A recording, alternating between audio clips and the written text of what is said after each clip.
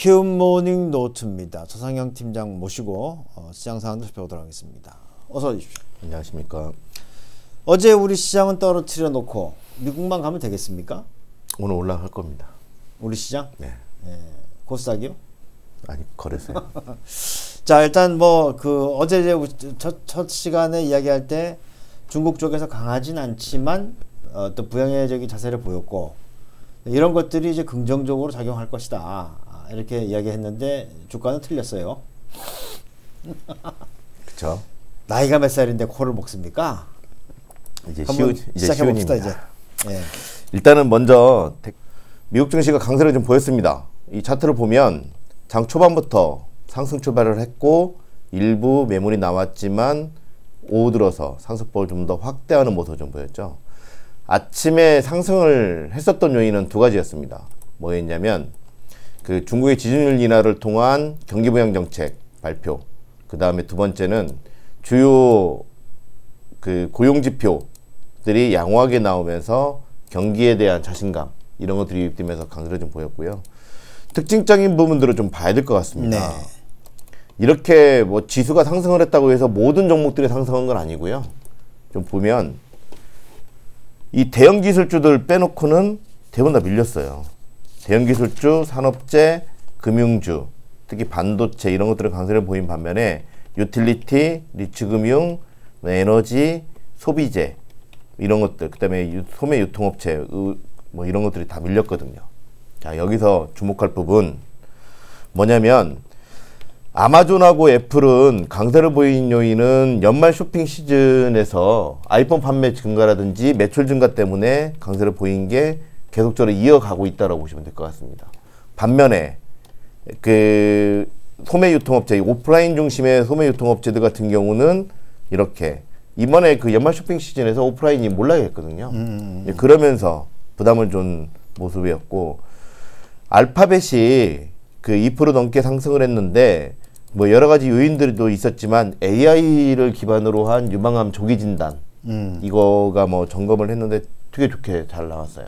예, 그러면서 이렇게 돼버리면 암, 암 치료의 가장 큰 문제는 조기 진단이잖아요. 이제 그런 부분들을 뭐 처리할 수 있다라는 소식이 나오면서 강세를 좀 보였고 그러다 보니까 이제 바이오 업종들이나 이런 것들은 밀렸고 그다음에 그 마이크론이나 뭐 이런 쪽 같은 경우 유- 그 같은 경우는 AMD에 대해서 그 목표 주가 상승 조정 이 소식이 나오면서 그 다음에 중국의 무역섭 중국과 미국 간의 무역 협상과 관련된 서명 이슈 이런 것들이 나오면서 어, 강세를 좀 보인 점. 유틸리 그 소- 산업생산도 산업재도 마찬가지였고 이렇게 윈 리조트 같은 대중국 관련된 종목들이 다 상승을 했다고 보시면 될 것 같아요. 자 그러면 주목할 법은 그러니까 지수가 강세를 보였지만 이렇게 대형 기술주들 위주의 강세. 그러다 보니까 지수는 뭐 전반적으로 그 상승을 확대하긴 했지만 중소형 지수 있잖아요. 러셀. 러셀 2000 지수 같은 경우는 장중한 때 1% 가까이 하락을 하면서 뭐 전반적으로 투자 심리는 그래도 좋지는 않았어요. 뭐 그럼에도 불구하고 시장은 강세를 보였고.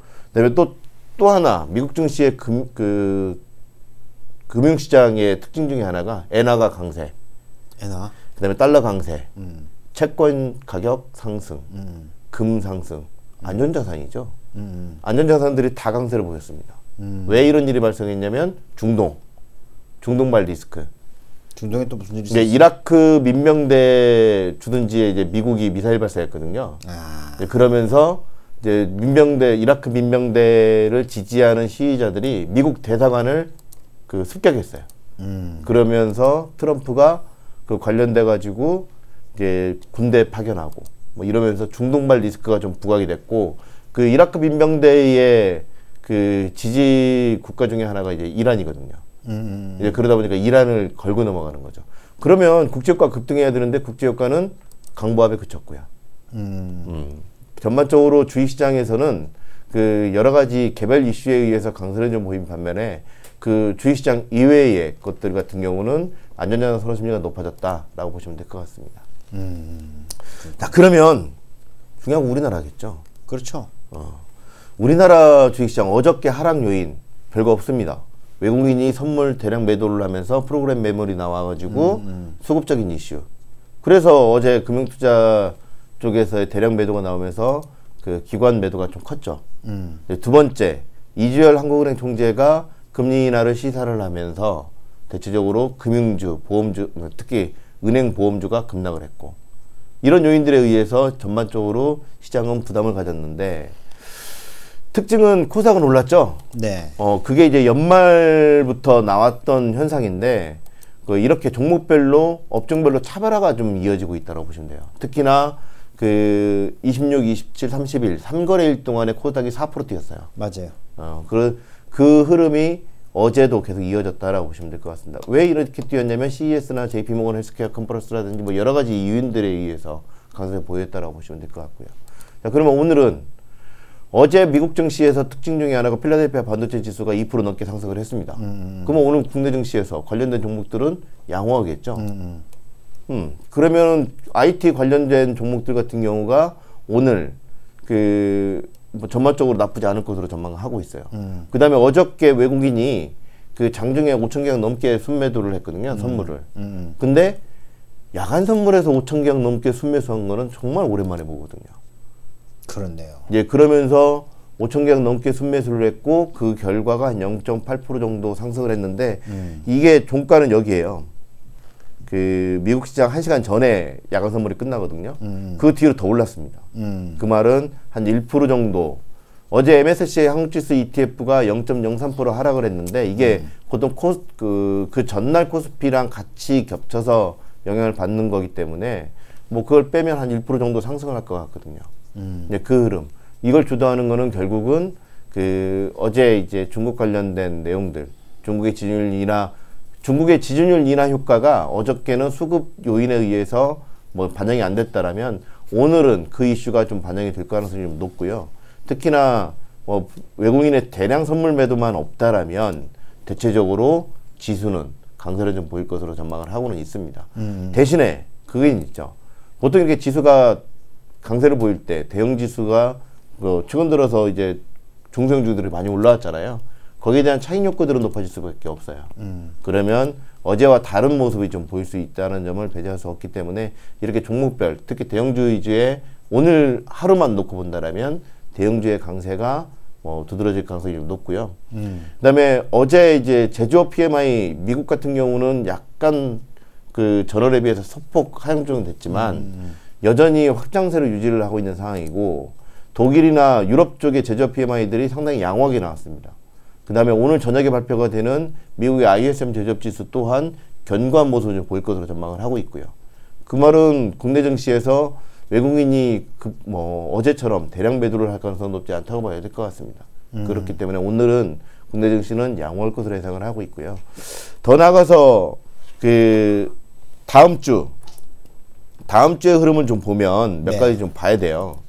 다음 주에 주요 변수들을 좀 살펴보면 뭐 가장 핵심은 삼성전자 실적 발표겠죠. 음. 삼성전자 실적 발표 지금 저기 그, 그 예정돼 있어요? 7일 날 화요일 보통 화요일 날 하잖아요. 음. 화요일 날 삼성전자 실적 발표가 있는데 그때 이유가 좀 문제예요. 이게 차익 실현 욕구들이 높아질지 음. 이 부분은 좀 봐야 될 것 같고 컨센서스는 좀 어느 정도 돼 있습니까? 상당히 좋, 좋게 나올 것으로 예상을 하고 있고요. 뭐 하기는 8조, 8조 9조까지 네. 올라갑니까? 그래서 상당히 좋아질 것으로 예상을 하고 있기 때문에 좀 더 지켜봐야 될 것 같습니다. 음. 그 다음에 중요한 거는 그거 말고 서비스 업종 관련된 종목들의 좀 어, 지표들이 발표가 되고 특히 공장 수주 같은 거 독일의 공장 수주나 독일의 산업 생산 보면 지난달에 비해서 다 양호해요. 음. 그다음에 그 서비스업 PMI 같은 경우도 물론 이제 전환달 대비 소폭 중국은 둔화될 가능성이 높- 높고요. 그 미국의 ISM 서비스업 지수 같은 경우는 상당히 좋을 것 같고 그다음에 그 여러 가지 중국의 물가 지표도 지난달에 비해서 개선되는 모습. 그다음에 미국의 고용은 어차피 이게 그 연말 쇼핑 시즌을 앞두고 파트타임 노동자들이 그 11월 달에 피크를 이루고 12월 달은 좀 빠지거든요. 그러다면 그 영향. 근데 이제 시간당 임금이 강세를 보이고 있고 결국은 다음 주에 발표되는 주요 경제 지표들이 상당히 양호합니다. 그 말은 결국은 뭐 차익 욕구들이 높아졌음에도 불구하고 이러한 경제 지표에 따른 개선 기대가 높기 때문에 상승세는 좀 유지할 것으로 예상을 하고 있고요. 대신에 그거는 있죠. 미중 간의 무역 협상과 관련된 서명을 15일 날로 트럼프가 확 그 구체화 시켜놨기 때문에 누가 누가 누구 만나서 한대요? 그때 이제 류호 부총리가 가서 음. 이제 심핑하는 건 아니고요. 이제 고위급 관계자가 가서 서명을 하는 걸로 그 누구랑 같이 앉아서? 그 그쪽 이제 고위급 관계자들이겠죠. 그리고 나서 이제 트럼프를 만나겠죠. 그걸 왜 꼭 백악관에서 해야 됩니까? 백악관에서 그러니까 말입니다. 근데 2차 협상은 이제 중국에서 한다고 하니까 음, 어 근데 이제 그때 이유가 문제입니다. 그때 이후에 차익 욕구들이 높아질 수 있다는 점을 배제할 수 없기 때문에 음. 시장은 뭐 이번 주 다음 주 초 중반 정도까지 경제 지표 개선에 따른 상승세는 유지할 수는 있겠지만 그 뒤가 문제겠죠. 그러니까 월초에 몰려 있는 지표 발표들을 좀 봐야 되겠네요. 네, 그거는 이제 어차피 지금 현재 뭐 선행 지표나 이런 것들을 보면 상당히 양호하기 때문에 이걸 기반으로 보면 나쁘지 않을 것 같다. 대신에 그 차익 욕구들은 높아지면서 대체로 이 물량 소화 과정이 좀 이어지다가 그 작년 연말에 상승을 좀 확대하게 만들었던 미중거래 무역협상 서명식 이후에는 뉴스에파나 뭐 이런 내용들이 나오면서 매물이 쏟아질 수 있다는 점을 배제할 수는 없으니까 챙겨봐야 될 것. 물론 이제 그, 그 시기가 또 우연찮게 또 실적 발표가 좀 준비돼 있어요. 많은 기업들의 실적 발표가 있으니까 그 뒤로는 결국 종목 장세가 펼쳐질 수밖에 없다라고 봐야 될 것 같아요. 거기다가 뭐 CES라든지 뭐 JP모건 헬스케어 컨퍼런스라는 이런 것들도 많이 있기 때문에 관련된 종목들 위주로 뭐 변화를 좀 보이는 정도의 그칠 것으로 판단하고 있습니다. 알겠습니다. 오늘 여기까지 모시도록 하겠고요. 어, 월요일 날 또 뵙겠습니다. 고맙습니다. 감사합니다. 네.